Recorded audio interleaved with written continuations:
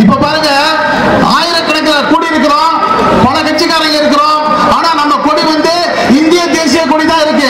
இதுக்கு என்ன காரணம்னா நாம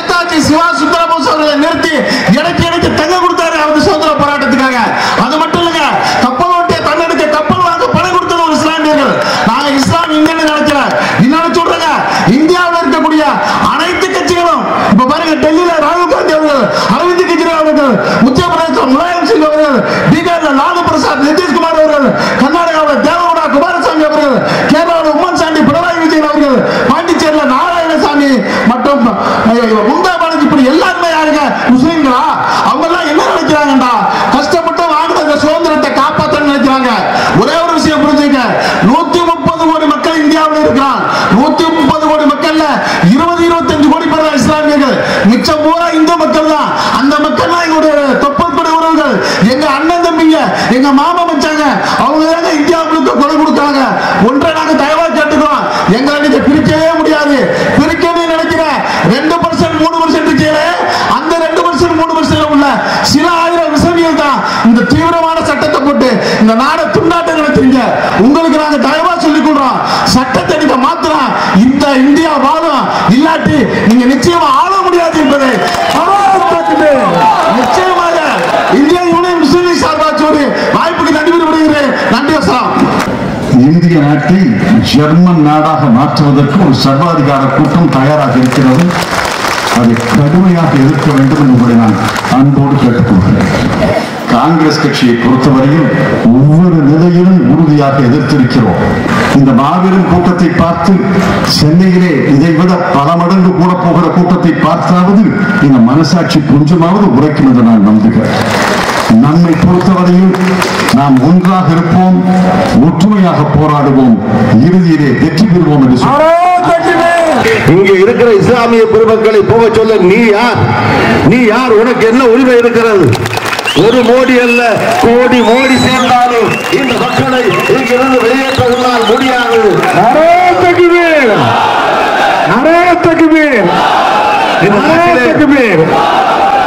இந்திய நாடு சுதந்திரம் பெறுவதற்காக அந்நிய சக்தியை ஆங்கிலேயர்களை எதிர்த்து போராடிய போது இங்கே போராடிய இந்துக்களுக்கு சமமாக இஸ்லாமியர்கள் செய்த தியாகம் எல்லளவும் எந்த விதத்திலேயும் குறைந்ததல்ல.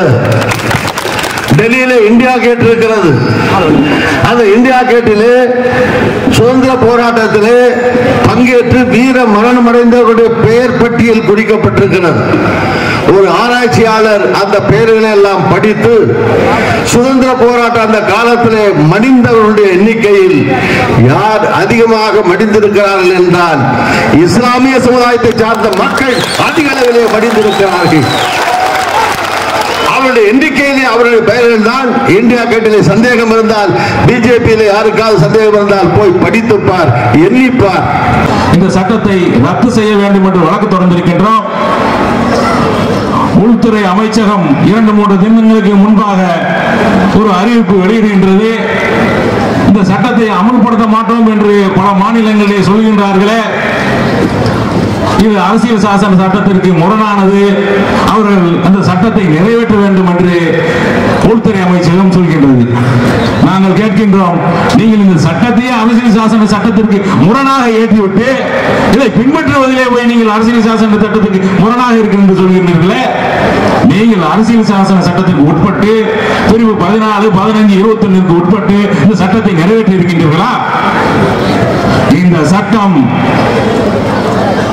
திரும்ப பெறுகின்ற வரையிலே இந்த நாட்டினுடைய மதசார்பின்மை காக்கப்படக்கூடிய காப்பதற்காக இந்த நாட்டினுடைய ஜனநாயகத்தை காப்பதற்காக இவர்கள் கொண்டு வரக்கூடிய இந்த இந்து ராஷ்டிரம் என்று கொண்டு வரக்கூடிய இவருடைய முயற்சி தோல்வியடைகின்ற வரையில் இந்த நாட்டிலே இருக்கக்கூடிய இந்த நாட்டின் மதசார்பின் மீது நம்பிக்கை உள்ள அனைத்து இந்தியர்களும் இந்த சட்டம் திரும்ப பெற போராடுவார்கள். அதற்காக இன்றைக்கு தமிழகத்திலே திராவிட முன்னேற்ற காங்கிரஸ் உட்பட நம்முடைய தோழமை கட்சிகள் மதசார்பற்ற கட்சிகள் எல்லாம் ஒரு வலுவான போராட்டத்தை முன்னெடுத்திருக்கின்றன. அந்த போராட்டத்திற்கு அனைவரும் நாம் ஒத்துழைப்பு கொடுத்து இந்த சட்டம் திரும்ப பெறுவதற்கான அனைத்து நடவடிக்கைகளிலும் சட்ட நடவடிக்கைகளிலும் நாம் துணை நிற்போம் என்று கூறி முடித்துக் கொள்கின்றேன். நன்றி.